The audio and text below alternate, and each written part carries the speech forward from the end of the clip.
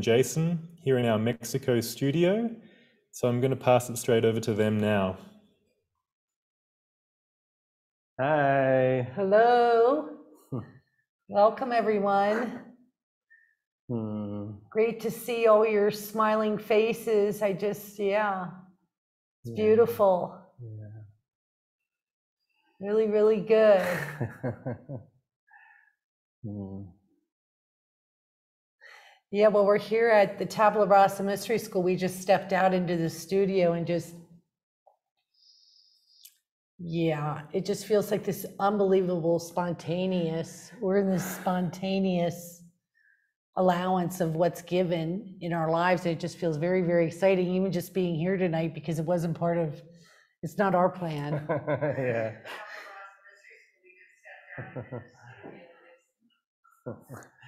And so, yeah, so we're just really, I just feel very excited. And I have a lot of joy and a lot of love to share tonight. yeah. And just the, you really just the living experience of living in, in what's given. And yeah, it's just been this unbelievable ride. So Eric's here, Hmm.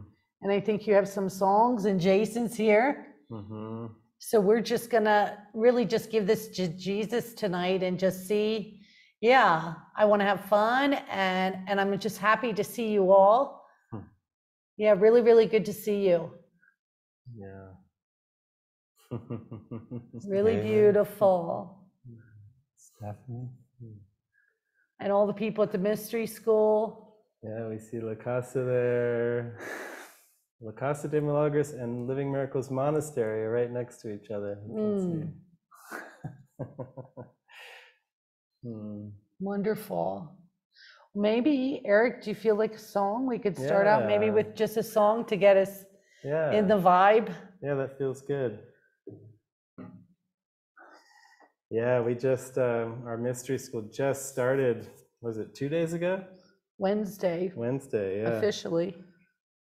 So we have 13 new students with us there at La Casa, and yeah, it just feels so exciting and fresh. Like we were talking the other day about how, you know, people come, they really come for us. Like it seems like they come to like learn from us, but but like in our mind we're just remembering that that it's a that everyone is bringing a gift and a healing for our mind and and that's yeah that's just been it's been so beautiful. I've been kind of overseeing the logistics mm. at the, on the property and and working with the interns. We have a we have a staff team of interns and yeah every day it feels like it's totally new. Like there's no real like i can't figure out what's going to happen from day to day. Like new forgiveness opportunities pop up left and right but it's it's always bringing me back to myself i like that um, what's that quote? David quoted someone who said i think it was peace pilgrim recently. He said that peace pilgrim had a, a saying that when when there's a problem in your life it's it's good. It's really just to knock you back on track to knock you Mm. back into yourself. And uh, yeah running a mystery school it feels like there's a lot of little problems that crop up like oh the toilet broke or uh, you know someone's going through some heavy emotions today and but everything is just a backdrop for you know for me to just pray and listen and we, we join a lot and really pray about every detail with such care and precision that it's yeah I, I just feel like everything the whole world is being orchestrated for my healing and even just being here tonight and i've no, no idea what song i'm about to play but but I, I feel like jesus is about to tell me any second here. And then, and then uh, yeah we just roll with it and stay in the moment. You know we were just talking about how it we don't want to plan ahead. We just want to be given each moment fresh and so this song i think i'll play actually um, it's called if not now then when. And it's um, all about forgiveness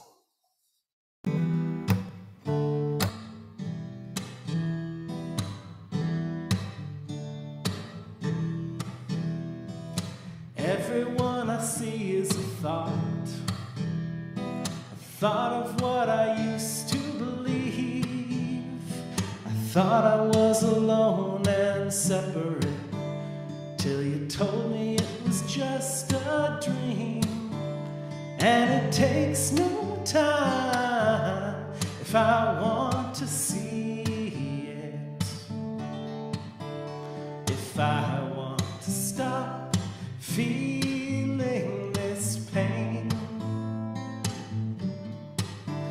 I don't have to keep on falling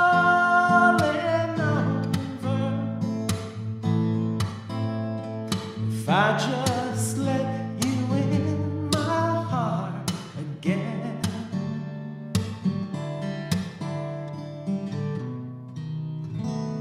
And if not now, then when?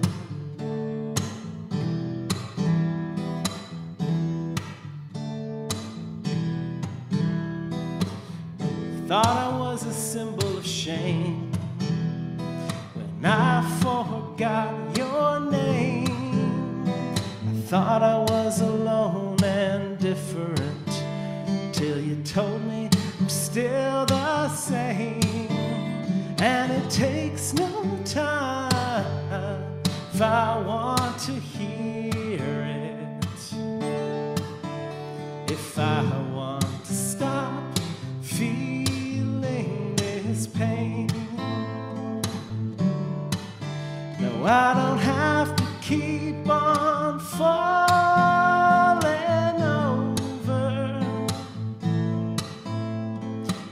I just let you in my heart again.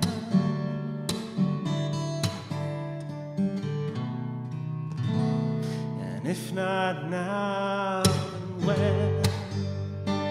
If not now, what then? I know the pain will never end if I don't let you in my heart again. If not now, then when? If not now, what then? I know I'll finally be at peace when I just let you in my heart again. So if not now,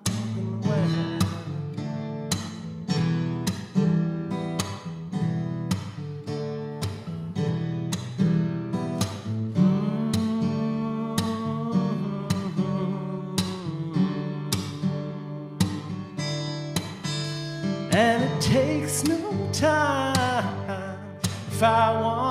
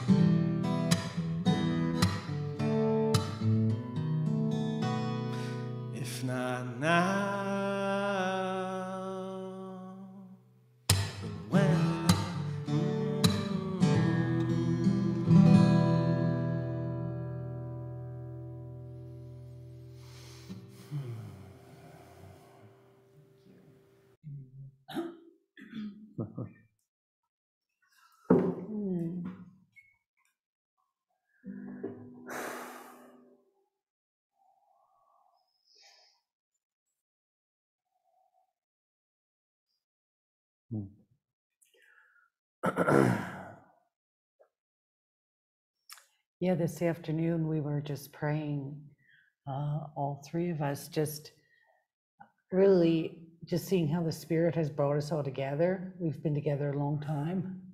And just, you know, and here we are yeah. i- i- now, in this moment, in a new collaboration. It just feels like these new, fresh opportunities the Spirit keeps giving us continually to keep stepping out of our comfort zone.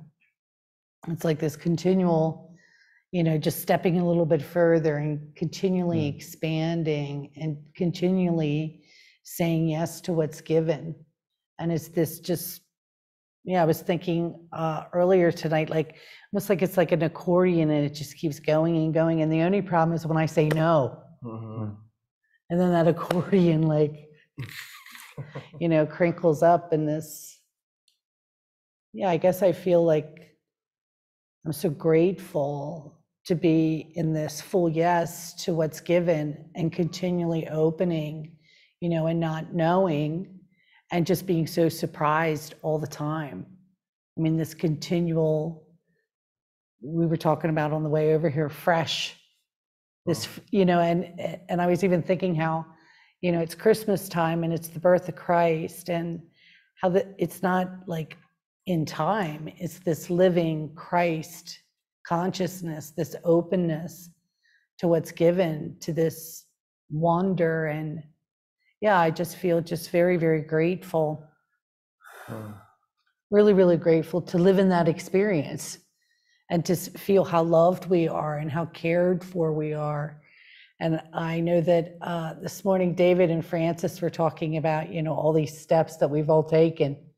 And it's been, you know, basically a journey of forgiveness, just really just practicing forgiveness over and over and using each other and, you know, being vulnerable and, you know, from the very beginning. I mean, you were in Kentucky uh, way back when, and we were just together, not really knowing what we were stepping into. We were talking about that earlier today. Like we had no idea, you know, and this real faith and this trust in God, really with all of our heart, you know, willingness to serve and a willingness to practically apply a course in miracles and experience what Jesus was promising us. And, you know, that's the gift about the mystery schools. People get a taste of the practical application, putting away the book. But I feel like our lives have are such a demonstration of um,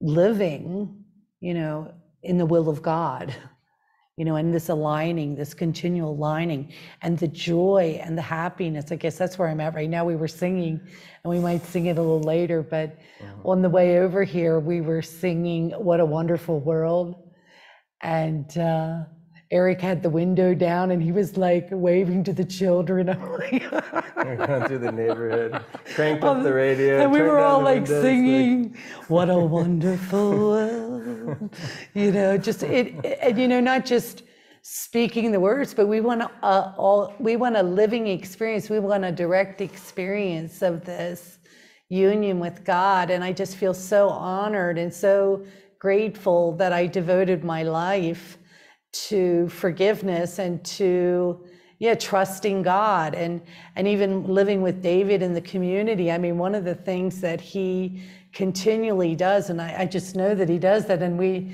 it's like the ego hates it. It's this continual gift of you know stepping up on the rung of the ladder to the next rung. It's like the ladder just keeps going. Mhm. we're continually stepping up to the next rung. And and and it's the most beautiful experience because you feel just your mind expanding. You know yeah you have to face the fears and face the unworthiness and face the guilt and the shame and the control so much control you know undoing of it. But letting it go is the, you know it's like trusting that we don't lose anything by by letting go and letting god. Hmm. it's a miracle really to sit here. Hmm. you know that's what i feel actually you know i'm here with jason and we've been together i don't know how many years Hmm. Yeah. a long time Yeah. I was reflecting back on when I met you both. I think it was at that Kentucky retreat and it was my first time really like diving into a community experience. It was like a 3-week devotional retreat and uh yeah, I just had so much fear looking back and I really I projected all my stuff onto these two characters here. I, I remember just feeling like like, where's David? Why isn't David? Because he was there for a little portion of the retreat, but then he like flew off to his next travel. And I'm like, why do I got to follow like these guys? Why, why are they in charge of the retreat? And and they're like, I remember Jason asked me to cut the firewood for the retreat. Like that was that was my spirit given function. But I was I was like, I'm not gonna cut the firewood. I remember I went outside and I I, I was like, okay, I'm open to it. And I, I cut like one piece and I'm like, I don't like this. it was like the the willingness to forgive wasn't really quite abundant enough in that moment. So the firewood, I think someone else had to cut the firewood.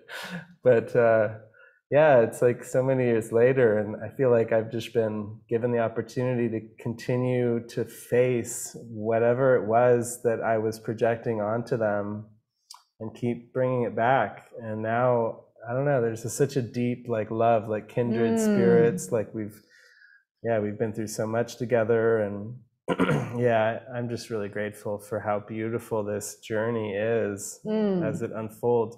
I don't even think, you know, it's like it's not even. I don't see it as personal anymore either. It's like, wow, I've just been watching this amazing, like, awakening story that seems to be this character Eric with all these other characters, and it was all kind of scripted. And I feel that's true for everyone. Like we're all just watching.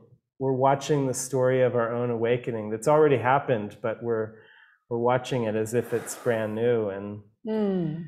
and it just does get better and better it gets easier to forgive the, the willingness just the more we get a taste of how good it feels to have a clear mind to have a mind that's free of grievances the more we we want that and and it also seems like it like the forgiveness lessons can get more challenging but but we're at- we, they they're never more than we can handle and we, we're always given something that will ex, like if we accept the lesson it will expand us even further like even closer to the awareness of heaven. And uh, yeah it's just it's like what a beautiful Mm. like a masterful plan. Like ricky's ricky's our friend ricky como has that song into the kingdom oh what a masterful plan Mm. and it really feels that way especially now like working with you both in the mystery school it's just Mm. been i don't know it's just so rich and deep Mm. you know It's really Very beautiful rich. because it's such a living experience of like we don't know, like a real experience of that, but just, you know, like how his plan is being unfolded and, you know, just saying yes. It's like this natural thing that's happening. Mm. Like we're just observing it, you know, and it's appearing in front of us and we're just, I don't know, it just is the most beautiful experience really to live and it's like very detached too like you were saying like we're all in our function now i mean that's what i feel like now we're all in alignment like even not just us it's like the whole community our whole we're all in this vertical you know relationship with god and and using the projects just to remember god and that we're all just like in alignment Mm. and and it feels so beautiful like we all have our area Mm. and everybody's parts essential Mm. yeah and i was thinking you know because when i was uh listening to francis this morning how you know almost like you can't imagine the plan we can't figure it out we could never figure this out Mm.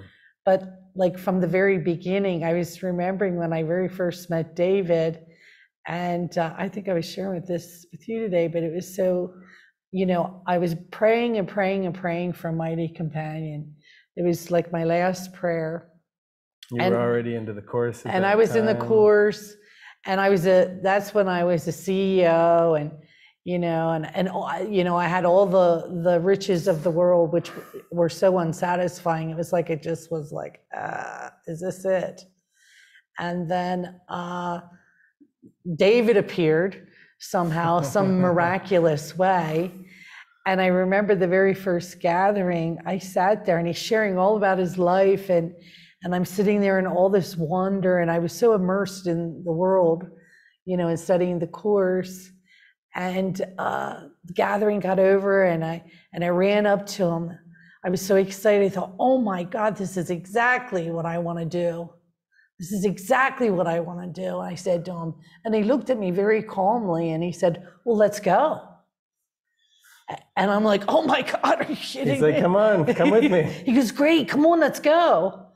And I was like, Whoa, you know, what, you know, what's happening? And just so immersed in this, you know, uh, dream character of Lisa and thinking, how would that even be possible?